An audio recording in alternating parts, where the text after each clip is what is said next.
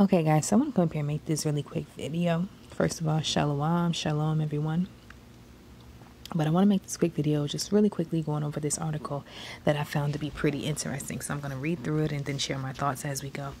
So this was reported today, August 14th, um, 24, 2024. And it says that the Saudi Crown Prince, MSB, reportedly fears that he could be killed over Israel normalization. Um, so let's get into it. Saudi Crown Prince Mohammed bin Salman has told uh, visiting U.S. lawmakers that he is risking assassination by pursuing a normalization agreement with Israel, Politico reports. The Saudi leader has discussed the threats he faces to explain why he must ensure that any deal includes a clear and irreversible path to a future Palestinian state citing, according to Politico, citing a former U.S. official familiar with discussions. In one such meeting, he invoked former Egyptian leader Anwar Sadat, who was assassinated in 81 by Egyptian fundamentalists after striking a peace deal with Israel. The way he put it was Saudis care very deeply about this, and the street throughout the Middle East cares de- deeply about this. And my or his tenure as the keeper of the holy sites of Islam will not be secure if he doesn't address what is the most pressing issue of justice in their region. One source familiar with the matter tells Politico. It is unclear how recent this talk of assassination is, given that the window for an Israel Saudi normalization deal has all but shut in recent months, according to the congressional sources. The sources told the Times of Israel that any chance to reach a deal had ended in June amid the ongoing war in Gaza and the shrinking amount of floor time remaining in the Senate calendar that would be needed to ratify the U.S um, yeah, the U.S. Saudi bilateral component of a deal before the November presidential election. Prime Minister Benjamin Netanyahu has repeatedly rejected agreeing to a future Palestinian state, making any such deal a long shot. So it's very interesting to me that someone in that position would be afraid of being murdered. And I'm just trying to figure out, you know, by who? You know, if he's working to bring peace, so to speak, to Israel, I don't think it'll be anyone from America because America is in agreement with the white people being in Israel, the state of Israel. Um, so I would think it would have to be someone that would be on the opposing side, which would be someone from the Arab world. But who in the Arab world would feel comfortable enough to assassinate or kill the Saudi crown prince? You know, reports are stating that Iran is a rival to Saudi Arabia and I guess in some ways kind of low key hinting that if there was a possible assassination, that maybe it could come from that direction. However, even if that were true, it is still shocking to me how someone could feel comfortable enough to take out such an important figure within their own community. That's why I firmly believe that the people that are the ones that could possibly order such a situation to happen, like an assassination, are the people that put these white faces in position, which are the black Arabs. This is the same country, Saudi Arabia, that says that if anyone, from my understanding and research that I've done before and watching different documentaries, if anyone speaks out against the the kingdom or the prince or whatever his family, they themselves can risk being assassinated. Allegedly, you know, I could be reaching, but again, to me, I don't feel like I am. This just shows to me that the black Arabs are the ones that are in control. And if you remember, if you read the book of Jasher, there's a passage in there that talks about how the king, the children of Israel decided to have a king that was not of their own brethren. Because the last time they did, they had some issues break out and they almost, you know, were taken out and wiped out in war. But they ended up getting the upper hand at the last minute and they and they decided to have a ruler over them and place someone over them that was always outside of their own bloodline and brethren. Okay, so here we are in Jasher chapter 57. I'm not going to read all of this. I'm just going to jump down to the passage where it speaks on that. I would, you know, I would advise you to go back and read it yourself so that you can um, see what I'm talking about. But if you go down to verse, I'm going to start at verse 30. Um, 8 And it came to pass in those days that the children of Israel, Esau, resolved to crown a king over them in the land of which they became possessed. And they said to each other, Not so, for he shall reign over them in their land, and they shall not be under his counsel, and they shall fight their battles against their enemies. And they did so. All the children of Esau swore, saying that none of their brethren should ever reign over them. But a strange man who is not of their brethren.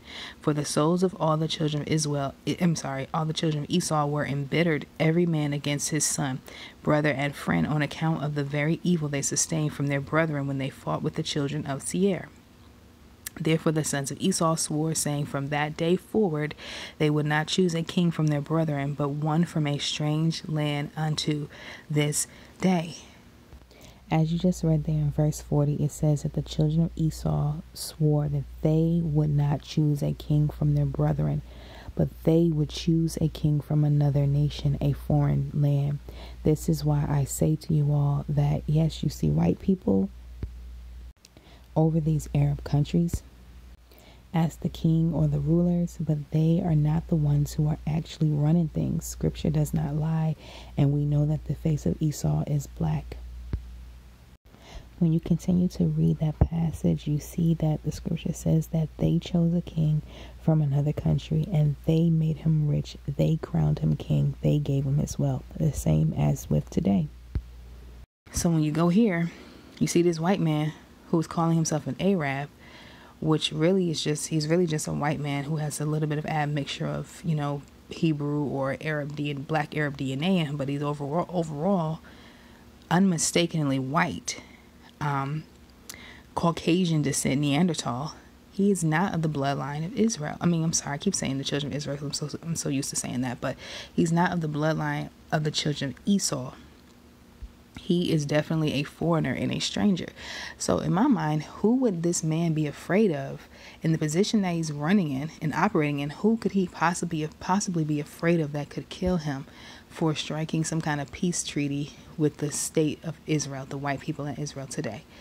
I find it that no other, no other, I mean, the, the only thing I could think of would be the true children of Esau, who are the ones that are in his, that are put, that place him in position because, as you saw in the scriptures, they decided to never have one of their own kind, one of their own brethren ruling over them. They always said to have a ruler from a strange, foreign nation, land, and country ruling over them, and that's what that is what's happening here. This is why you see this white family ruling in the kingdom of Esau, Saudi Arabia because they already said thousands of years ago that they were going to have a stranger ruling them. So, what could possibly make him afraid? Who in the foreign, I mean, who in the Arab world could possibly threaten to kill him if just speaking out about him could cause them harm in that country? Allegedly. I just find it very interesting that if you pay attention, the way I see it, you can tell that the black Arab is the one who is running the scenes from behind the scenes. But he's not showing his face right now because, in my understanding, if he comes out and show and prove that he actually is a child of Israel, I mean the children of Esau, then you would absolutely know who the children of Israel is because they are twins. So you have to have the face of this foreigner looking like they are the Arab people so that it leads you off into another direction. But you know, all all is going to come out in the end anyway. You know, Arabs are black people. Arab just means mix, and Esau was a Hebrew who mixed his DNA with the sons of, I mean, with the daughters of Ishmael as well as the daughters of Mount Seir, and and he also had some Egyptian blood and DNA up in there too, um, just from Esau. I mean Ishmael and his family as well, his daughters and stuff. But I just want to share that really quickly because I thought that was very interesting to me. If he seeks to strike a peace deal with the white people in Israel, these people that he's afraid of could possibly, he felt, at either now or at some point in time recently, he felt um, could kill him because of doing that.